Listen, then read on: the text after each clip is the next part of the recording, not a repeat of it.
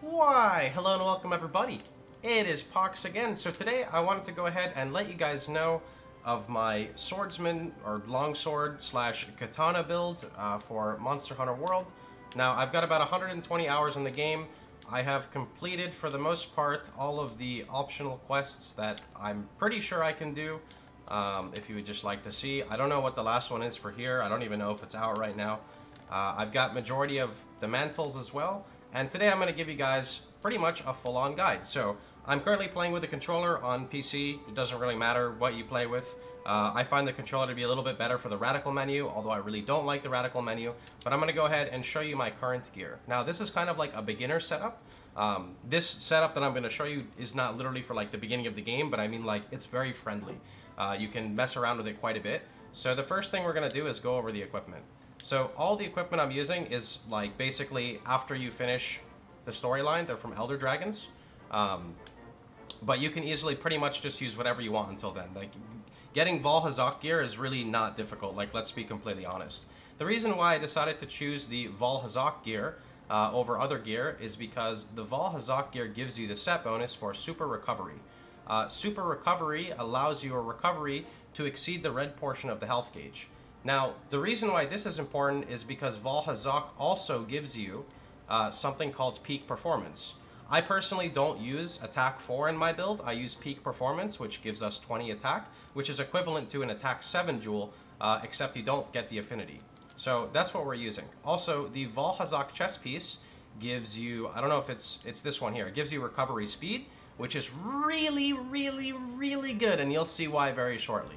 Um, Anyway, so with what we have right now for our skills, you can see on the right, I've got Handicraft 5, Health Boost 3, Peak Performance 3, Attack Boost 2, Recovery Up, Recovery Speed, Weakness Exploit, Divine Blessing, Non-Elemental Boost, uh, and then I think that's that's pretty much it. So things I'll be doing in the future is I'm going to be removing Handicraft to get it to level 3, because level 3 Handicraft still gives White Sharpness and we'll be removing the, or we'll be gaining weakness exploit level 3, which is really important, because our damage is not that good right now, it's mainly for survivability.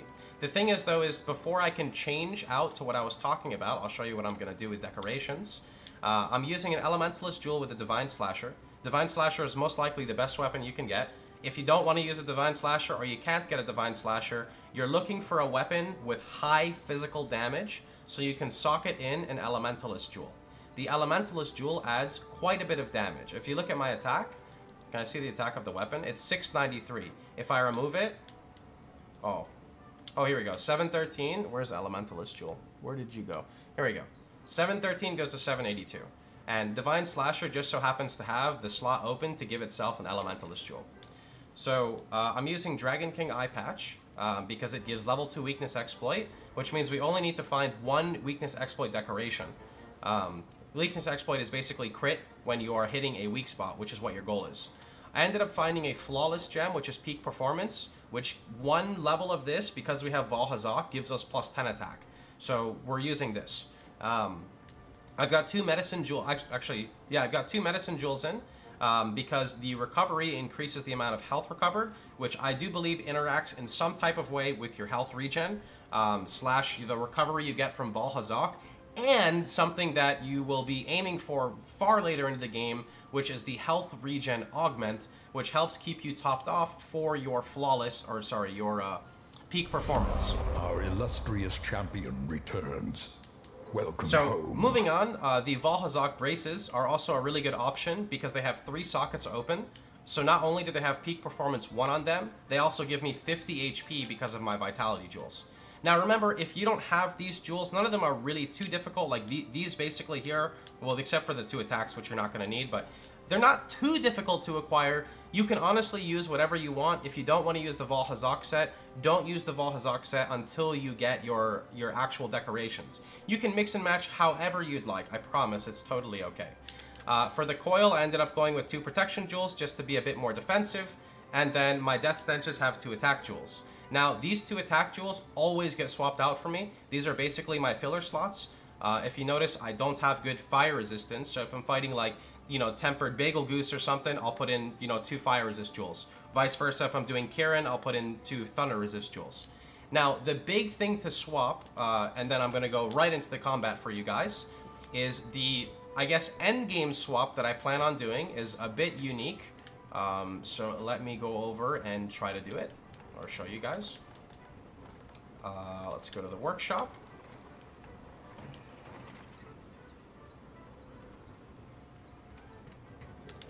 Okay. So, if I go to Forge Armor, there is a chess piece that has... Where is it? It's the only chess piece in the game at the moment. Our illustrious champion returns. Welcome home. Like how everybody likes to reset while I'm making my YouTube video. I'll give you guys shoutouts after, sorry. Here we go. It's called the Brigade B. Now, the reason why Brigade B is so awesome is because we're going to lose the 2 recovery from our Vaal Hazak piece. However, we are going to gain Divine Blessing level 3, and then we're going to socket in Weakness Exploit to get Weakness Exploit level 3, and then we're to insert the, I believe it's called like Speed Sharpening, um, or whatever it's called. I'm not exactly sure what it's called. It's called something along those lines. Um, and that basically allows for you to have um, white sharpness. Like, well, eventually you'll have white sharpness anyway. But what the what the the decoration does is after you sharpen your weapon, you basically cannot degrade sharpness for like a minute, and that's insanely good. That's super super good. And then I think I was gonna swap out my death my death boots, or I was gonna swap out my amulet. I don't remember exactly, but anyway, just just to like theory craft a little bit for you guys. Also, the set looks pretty nice. Um, protective polish, thank you. That's what it's called. And to farm the Divine Slasher, you actually have to do the arena, uh, but not the normal arena. You have to go to like the Gathering Hub area over there and go do it. Okay, so anyway, now that we're done with that, I want to go show you this against like real tempered mobs. Uh, if you guys don't know what tempered mobs are, they come after you finish the storyline. They are the hardest hitting mobs in the game with the exception of the tempered elders, uh, which are for the most part really annoying to fight. So let's go ahead and where's the female person at? Okay, post a new quest. Let's go to investigations. We're gonna go do a tempered Diablos because I hate tempered Diablos, but it's a really good, it's a it's a good boss to fight. I just he's Black Diablos is my most hated boss in the entire game, so I'd rather fight tempered Kirin any day. Okay. Oops.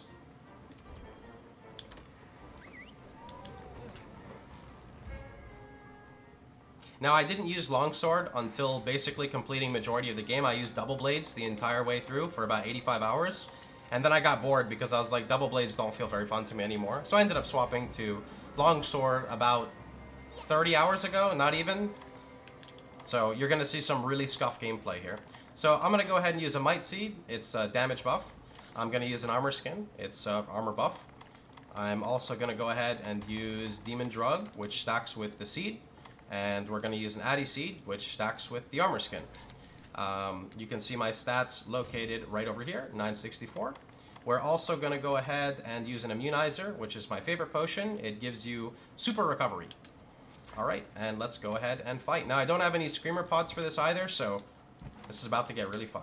I'm going to use a Rocksteady Mantle whenever I... Actually, I do have Screamer Pods. I'm going to use a Rocksteady Mantle to engage. This is going to make us immune to roars. Very good.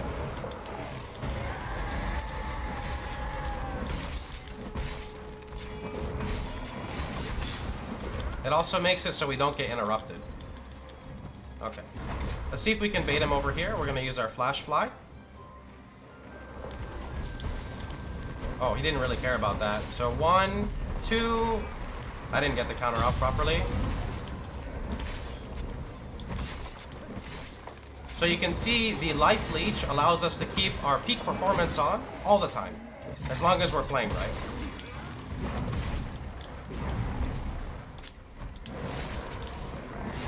I'm gonna go for a counter.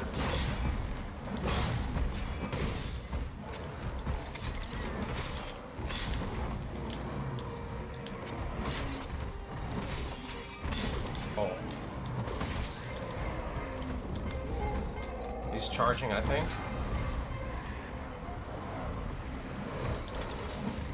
Hmm. I'm gonna use this time to repair.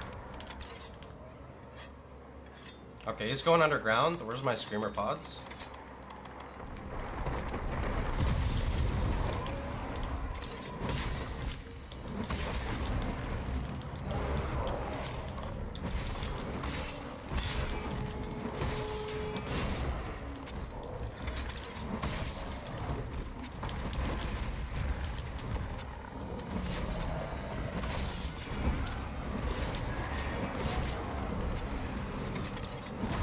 Oh, I did not think that tail swing was gonna hit me.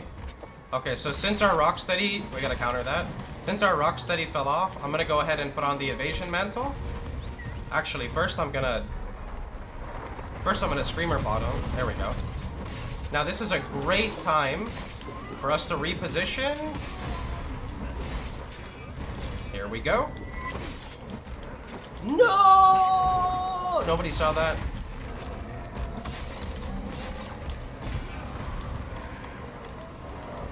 nobody saw that.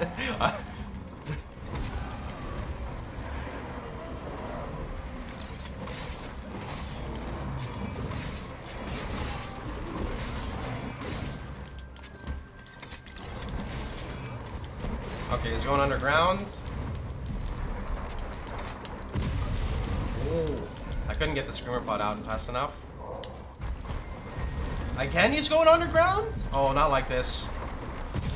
There we go.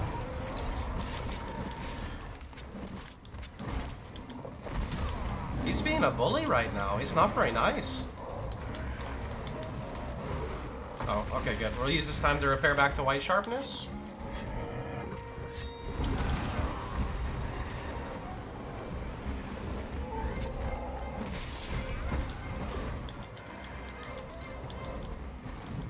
That's tail swipe. Underground again. Let's see if we can get a counter. There we go.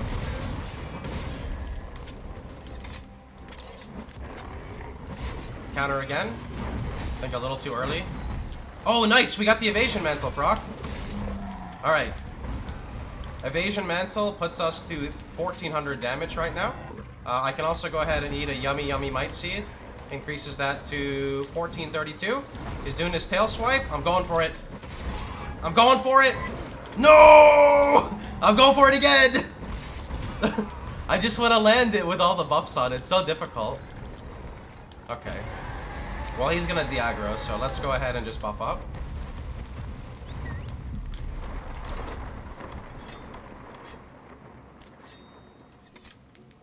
Where did you go, Mr. Diablos? Are you down here? Very nice.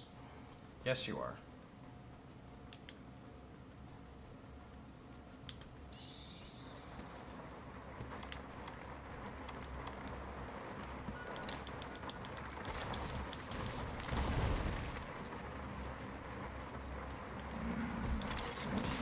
See if we can counter the roar. Oh, I didn't even roar.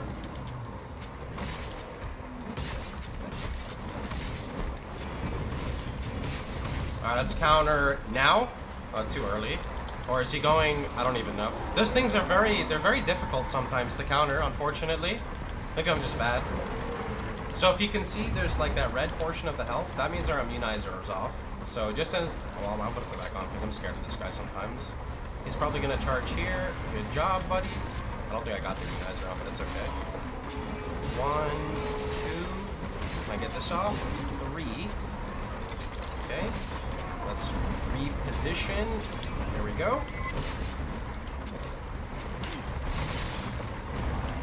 Okay, he is in capture range now too, so I'm just gonna go ahead and drop our shock trap on the floor here. He's gonna hit us, but it's okay. It's okay. He is Come on, buddy. Double swing. Nice. Tranq bomb one, tranq bomb two. So I apologize. It was, you know, kind of a messy fight. I'm not very good with the longsword. Yeah, it's pretty much just going over the gear and showing you guys how, uh, how, uh, what, what's the word I'm looking for? Not very punishing the set is. You know, it opens for a lot of opportunity for you to learn the boss fights rather than just dying instantly to them. Uh, I know a lot of people want like max deeps and everything, and this is not for you. Uh, although you can do some pretty good damage, don't get me wrong, you just have to be a better player. That's Especially longsword really comes down to that. Okay, what do we get here? Ooh, that's really good. That's come on, baby. Come on, baby. Weakness, exploit. Do it. Do it. Weakness, exploit. What do we get? Steadfast. Oh, quick sheath. That's quick sheath too that we have.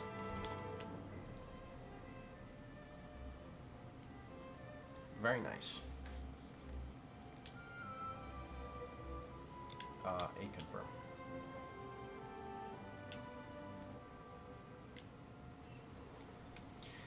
Uh, so some some pretty basic combos I could tell you guys um, about the combat, just to help you guys out a little bit. Now, I'm not an expert longsword player, like I was saying before. This is just what I found to be pretty useful to me. Um, I'm going to give you a lot of tips that a lot of people disagree with, and that's because I haven't played Monster Hunter on anything else other than Monster Hunter World. I know a lot of people are elitists, but I'm going to help explain it to the noobs like myself, right? So some basic combos you can do is, uh, I'm using an Xbox controller. If you're on keyboard and mouse, just, uh, I, fuck, yeah, I don't really know what to say. So here we go. So you can do like Y, Y into YA or YB. The YY into YB, what it does is, if you look here, one, two, and then it goes into the side hop. You can choose the side hop left, right, or back if you don't do anything. And that is going to give you enough charge on your bar to execute your full right trigger combo. Also, by using your YB to jump first, you'll actually remove the first slash of it, which is important because I believe it doesn't consume like the resource. Which means that if you're going to initiate with like Rocksteady Mantle, usually you can already have a charge going in and you know do like 4 plus 100 damage, uh, which is just really, really nice. Some other things to note is like repositioning. So like when you use your counter, you're automatically going to attack after. But if you use your counter and then try to do your special, you can actually use it to position. That's something I didn't know for a long time that people were trying to help me with, and I finally understood it because say you're fighting a boss and he's right here, and you want to hit his tail, you're going for a tail chop, but you're like, well, I don't want to just, you know, stop my combo, do nothing, walk over and go for his tail. So instead you could fight, and in mid-combo, you could boom, do this, and then try to aim at the tail.